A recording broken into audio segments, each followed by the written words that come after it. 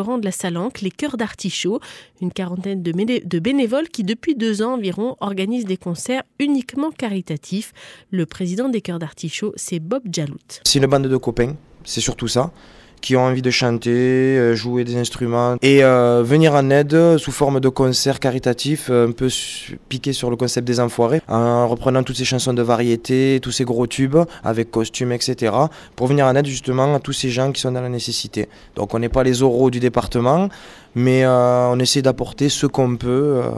Voilà, donc on a déjà fait 6-7 concerts, je crois. On en a fait deux pour le petit Julien, un petit enfant atteint d'une maladie orpheline, un petit garçon qui s'appelle Alexandre. Nous avons fait un concert pour les dons d'organes de l'hôpital de Perpignan. Nous avons fait un, concert spectacle aussi pour aider un ami à nous, Jean-Pierre, qui est atteint de la muco. On va sortir un single qui sera l'hymne officiel des Cœurs d'Artichaut. On va commercialiser ce single et on va reverser la totalité des bénéfices euh, à une association dans le besoin. Les chœurs d'artichaut qui ont déjà récolté 15 000 euros en six concerts seulement et qui vont recevoir aujourd'hui un prix décerné par le Crédit Mutuel, un chèque qui récompense les associations les plus méritantes du sud de la France. Chaque année, le Crédit Mutuel récompense les associations les plus méritantes du sud de la France et cette année, parmi les lauréats, figurent les Chœurs d'Artichaut, une association de Villelongue de la Salanque qui organise des concerts depuis deux ans, concerts uniquement caritatifs. Le reportage de Fanny Barouk. Tout commence il y a deux ans. Un tournoi de foot est organisé à Villelongue de la Salanque pour venir en aide à Julien, un enfant du village victime d'une maladie orpheline. À la fin du tournoi, Bob Jalout et ses amis vont voir les parents de Julien et leur proposent d'organiser un concert caritatif pour récolter encore plus de dons. On a commencé à répéter sans savoir où on allait. Quoi. Ah, toi, toi qu'est-ce que tu sais chanter? Ben, Moi, j'ai chanté euh, Barbara Streisand.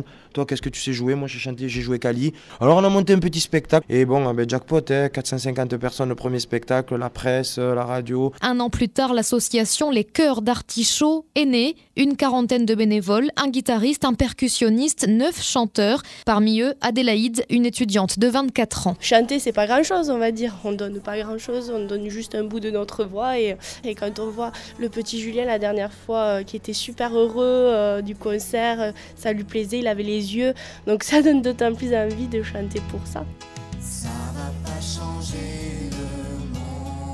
Une demi-douzaine de concerts plus tard, avec un tarif de seulement 3 euros l'entrée, presque 15 000 euros ont été récoltés et reversés à diverses associations du département.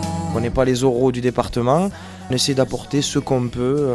Nous avons fait un concert pour les dons d'organes de l'hôpital de Perpignan, concert spectacle aussi pour aider un ami à nous, Jean-Pierre, qui atteint de la muco, qui avait un rêve, c'était d'aller enregistrer au Canada, etc. Donc on lui a permis de réaliser son rêve. Prochain concert des Chœurs d'Artichaut le 20 janvier prochain à la maison de retraite de Sals. Et puis un single en préparation, un disque 100% ville longuet. Il devrait voir le jour dans les toutes prochaines semaines.